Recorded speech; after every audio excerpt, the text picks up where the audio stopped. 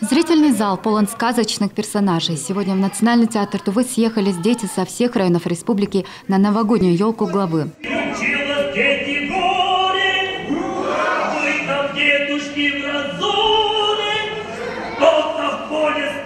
И.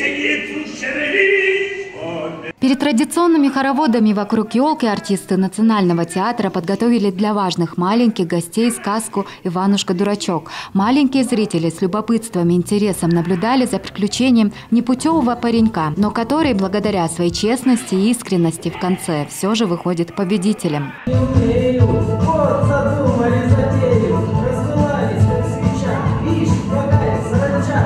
Зрительный зал полон, все 650 мест заняты. Каждый год на новогоднюю елку приглашают детей со всей республики, которые, возможно, чуточку больше остальных нуждаются во внимании и заботе. Даже из э, далекого Терехорского Кажуна у нас делегация прибыла. Э, не смогли э, по погодным условиям приехать только дети из Тоджинского Кажуна. Ну, елка главы, она больше ориентирована, э, то есть она для детей, э, которые находятся в трудной жизненной ситуации. Поэтому вот основными организаторами являются Агентство по делам семьи и детей и Министерство образования нашей республики. Также среди приглашенных детей есть отличники и хорошисты, имеющие успехи в спорте и в творчестве. А девятиклассник Начен Ширин был приглашен на елку главы за свой отважный поступок. Школьник в августе этого года спас двух женщин, вызволив их из горящего дома. Он горел там. И э, окно, и окно сломал. И вытащил дв- две женщины. Они там э, плакали, там орали. И, и там кладовку тоже так э, сгорел. Все.